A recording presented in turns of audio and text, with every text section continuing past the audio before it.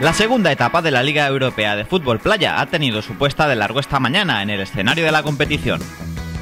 Un acto encabezado por el presidente de la Federación Gallega de Fútbol, Rafael Louzan, y al que han acudido el seleccionador nacional Joaquín Alonso, además de los organizadores de la Euro Big Soccer League y autoridades locales y autonómicas.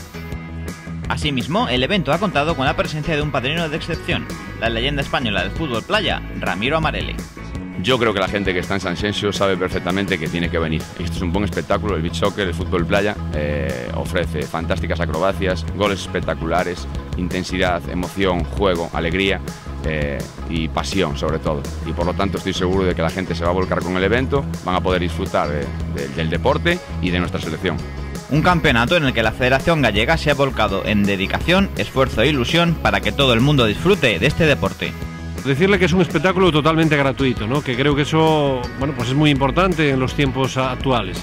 Que lo van a poder ver eh, bueno, pues con una capacidad de visión fantástica, que van a disfrutar de un paraje y de un entorno único que pueden aprovechar para venir a la playa y seguir durante toda la jornada el fútbol playa y también de, de, poder ver a las mejores selecciones probablemente del mundo, ¿no?